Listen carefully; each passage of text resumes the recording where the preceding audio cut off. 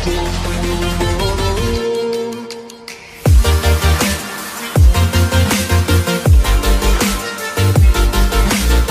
oke teman-teman masih berkaitan tentang pembuatan box. Nah kali ini kita pemanfaatannya untuk packaging produk teman-teman. Jadi misal teman-teman punya produk kaos ataupun baju ala-ala distro Nah kali ini uh, tutorial ini cocok untuk teman-teman yang mem ingin membuat produk teman-teman lebih eksklusif dengan membuat box sendiri. Nah untuk bahannya masih sama dengan tutorial-tutorial kemarin Antara lain yellow board atau karton buat tebal. Di sini kita menggunakan kertas Samson. Warnanya agak berbeda dengan kemarin yang lebih tipis dan lebih warnanya agak kekuningan ya teman-teman. Penggaris, cutter, gunting, lem fox, kuas dan juga solasi seperti ini jika teman-teman ada yang tanya untuk ukurannya adalah untuk tingginya adalah 7 cm, lebar 7 cm dan panjangnya adalah 20 cm, 21 cm. Dan untuk tutupnya nanti teman-teman tinggal tambahkan setengah cm dari ukuran box utamanya seperti ini langsung kita mulai untuk pembuatannya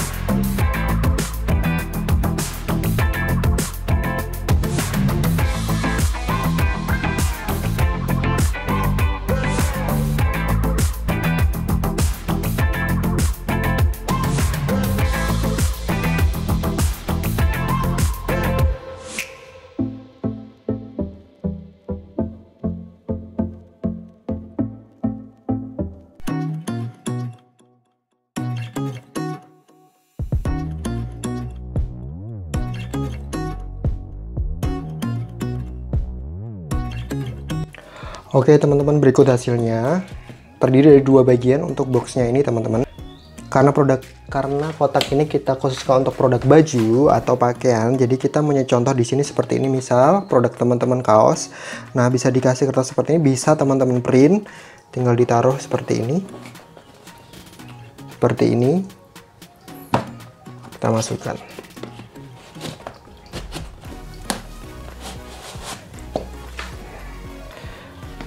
hasilnya seperti ini teman-teman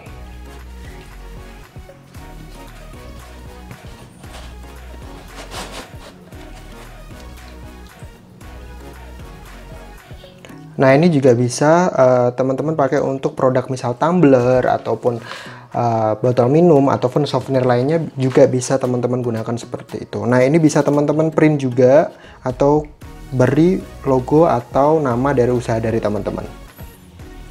Oke sekian untuk tutorial kali ini. Terima kasih banyak untuk supportnya. Jangan lupa untuk subscribe, like, dan komen. Dan juga share video ini jika bermanfaat. Sampai jumpa di video selanjutnya. Terima kasih.